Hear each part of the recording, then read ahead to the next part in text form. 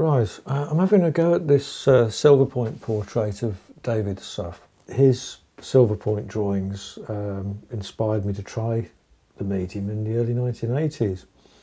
And I just thought it was so strange to meet him now at Goldmark Gallery, having never met him before. Why not try a silver point portrait of him, particularly as he's got the kind of beard that would be brilliant for silver point. I like to start off with just a faint outline of the structure of the drawing, then work in the background and the main tones, and finally the detail.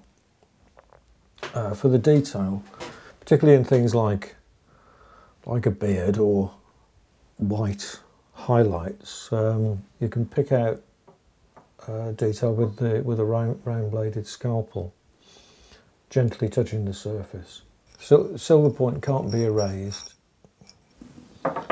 it's a time consuming medium. It takes quite a while before things come together, at least the way I work with it.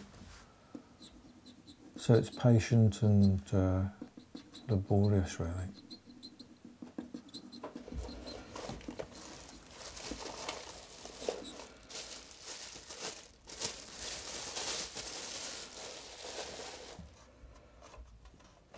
It's okay, yeah.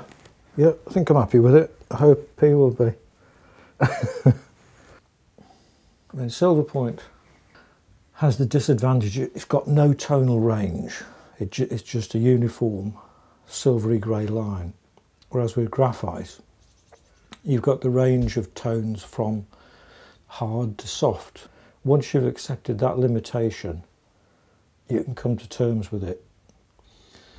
I mean, with this one, delicate areas like this, uh, you have to hold the silver point like you're holding a feather.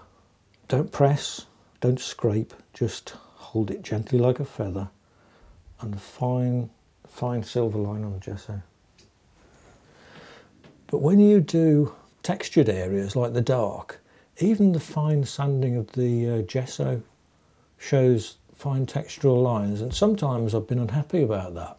But I've come to accept it now and I, I quite like it. I find when I'm doing a silver point, um, I, when I'm working, I always have music on, depending on uh, what it is I'm doing. Quite often I'll have uh, some jazz on, some loud, pacey stuff, uh, Sidney Bechet or Sonny Rollins. But when I'm doing a silver point, for some reason I need to listen to ancient music, to Baroque music, I love to have Couperin or Rameau or Bach on, particularly harpsichord suites.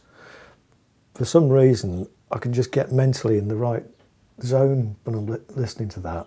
So I'm doing the silver point with the Baroque music in the background. It keeps me calm and focused. It's an important element.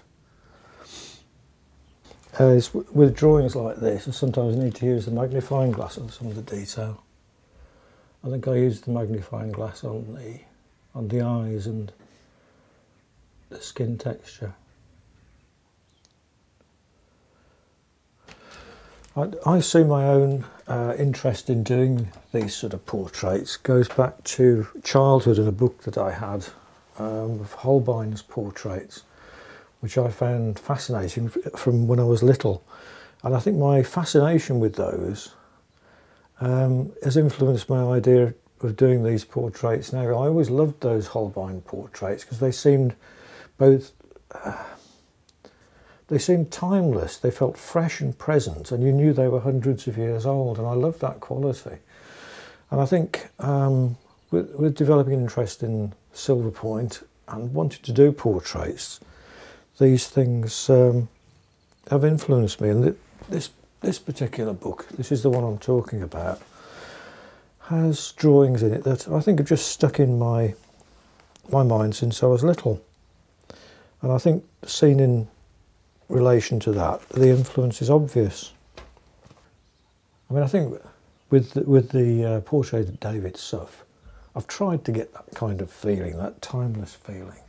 Uh, but at the same time, the um, Smoke Fairies logo makes it utterly contemporary. I mean, nothing can compare with the Holbein. But, um, you know, it's nice to have a go.